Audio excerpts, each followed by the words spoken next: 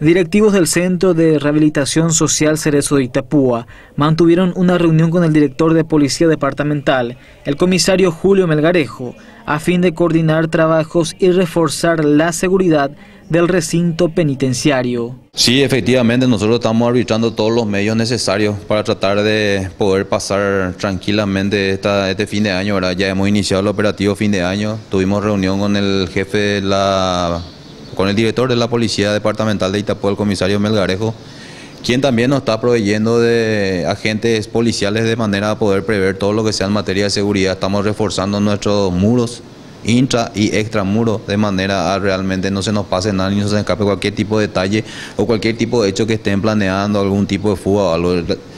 Por suerte realmente siempre tenemos bien monitoreados esos tipos de organizaciones que, que, deberían de, o que estén trabajando en eso realmente a través del sistema de inteligencia penitenciaria que hoy estamos siendo implementado en nuestra penitenciaría regional con la coordinación de la Policía Judicial de Asunción y el Centro de Establecimiento Penitenciario de la Dirección General de Asunción. Nosotros todos los días tenemos reuniones permanentes con nuestros agentes penitenciarios quienes están al cuidado de todos los internos tenemos, hemos mantenido una reunión, eh, reunión, perdón, mejor dicho, con la gente de la Senat, con la gente de la OE, con la gente de la comisaría Chapeto, coordinado con el director departamental, de manera a reforzar con agentes policiales nuestro resguardo.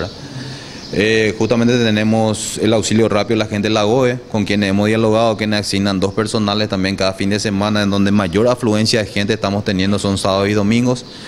Y una ronda todos los días, cada tres eh, o cuatro veces al día, ¿verdad? En horario distenso, que por cuestiones de seguridad me remito al horario en que ellos hacen esos controles, de manera tratar de evitar cualquier tipo de hecho que pueda sucederse en, en esta época del año. El operativo obedece a que se aproximan las fiestas de fin de año. En esta temporada existen posibles peligros de fuga y eso se quiere evitar, señaló el responsable del Centro de Rehabilitación Social Cerezo.